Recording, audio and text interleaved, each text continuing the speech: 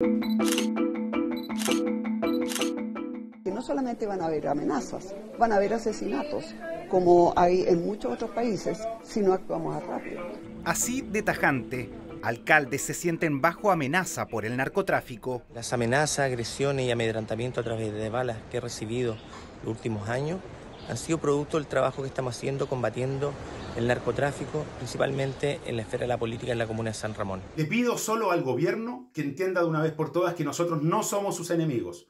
Los enemigos de Chile son la violencia y la forma en que el narco hoy día permanece impune.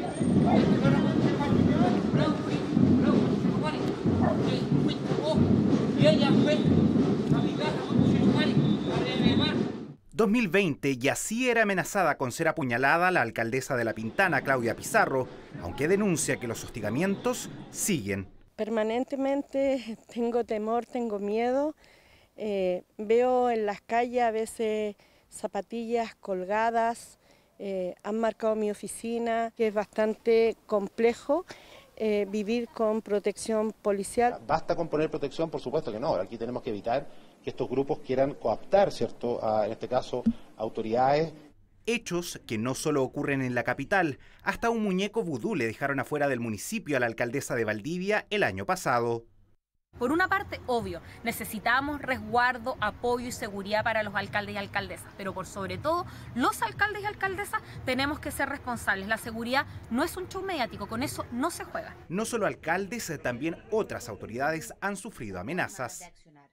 Por eso creo que es fundamental robustecer la legislación para que los alcaldes, para que los parlamentarios, para que todas las autoridades podamos trabajar tranquilamente y cumplir con el mandato que nos da el ordenamiento jurídico y que nos entrega la ciudadanía. La condena es transversal y se piden medidas. El Parlamento, el gobierno por sobre todas las cosas, pero la propia Fiscalía y tribunales tiene que hacer su trabajo. Pero también es muy importante proteger a todas las autoridades, a todos los funcionarios, a las policías también. Necesitamos real coraje de este gobierno para enfrentar a los narcos, porque no solo tienen amenazados a los alcaldes, sino que a la mayoría de los chilenos y chilenas. Porque aquí no existe ideología que nos divida, porque los delincuentes, los criminales, narcotraficantes están tomándose los barrios y las poblaciones. Hay que decir que cuando partió la demolición de casa, el mismo fiscal que está siendo perseguido por el fiscal nacional me dijo, en mi casa, ¿estás seguro de lo que vas a hacer? Porque estamos entrando a combatir mafias colombianas. Y estas mafias te van a mandar un día una moto al lado de tu auto, disfrazado de rápido de Uber, y te van a pegar un tiro. Reuniones en su casa, reconoció el alcalde Rodolfo Carter a propósito de la polémica por la información entregada por la Fiscalía para la demolición de narcocasas, pero también por su seguridad. ¿Usted se reúne con la Fiscalía en su casa? En el caso en particular, por tema de seguridad, el fiscal fue a mi casa porque quería ver cómo yo vivía para tener claridad de las medidas de protección que yo tenía que tener.